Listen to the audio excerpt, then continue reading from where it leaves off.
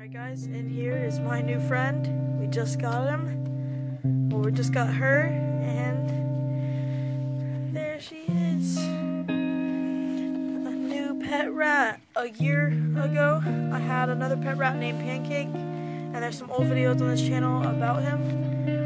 And we still have the cage and everything, so we're gonna have to set it up for this rat. And I'm deciding to name her Peanut, and my brother has one too, named Butter. Peanut butter. Right here is the perfect spot for the cage. This is the table we're gonna be putting the cage on, right here. Alright, now we have the cage in here.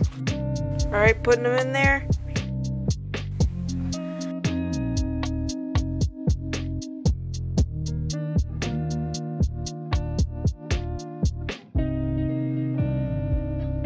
Peanut and butter. Also, guys, we got this box in here for them to hide in. It's just temporary until we get something um, from like the store. And right now they're hiding behind it. They're pretty scared. Just got here. They're getting used to their environment. But yeah, I'll do an update video on them pretty soon. I hope you all enjoyed, and I'll see you on the next one.